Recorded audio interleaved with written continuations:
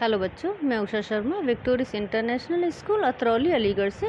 आज हम class second में चैप्टर एट गढ़ा, खजाना की रीडिंग करते हैं ओके यस देखिए बेटा चैप्टर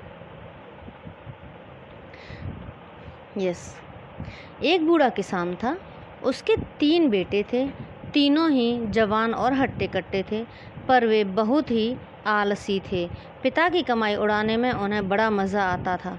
मेहनत करके पैसा कमाना उन्हें अच्छा नहीं लगता था, यानी आलसी थे वे बहुत ज़्यादा। एक दिन किसान ने अपने बेटों को बुलाकर कहा, देखो, तुम लोगों के लिए मैंने अपने खेत में छोटा मोटा खजाना गाड़ रखा है।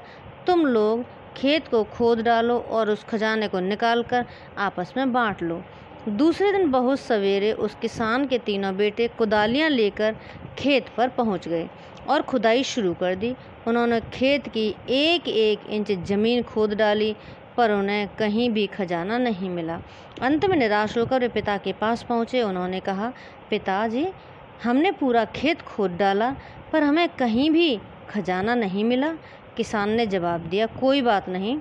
तुम लोगों ने खेत की बहुत अच्छी खुदाई कर दी है। अब मेरे साथ आओ, हम इसकी बुवाई करें। बाप बेटों ने मिलकर खूब लगन से खेत की बुवाई की। संयोग से उस वर्ष बरसात भी समय पर हुई और बहुत अच्छी हुई। खेत में खूब पैदावार हुई। फ़सल पक जाने पर खेत की शोभा देखते ही बनती थी। तीनों बेटों ने बड़े गर्व से अपने पिता को लहलहाती फ़सल दिखाई।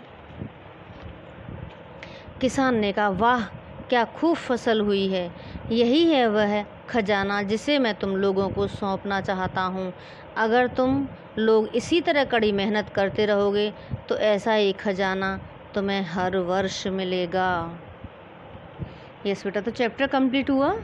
इसमें क्या बताया है कि मेहनत से ही हमें क्या मिलता है? अच्छा परिणाम मिलता है। तीनों बेटों ने भी क्या की? मेहनत की तो अच्छी फ़सल मिली।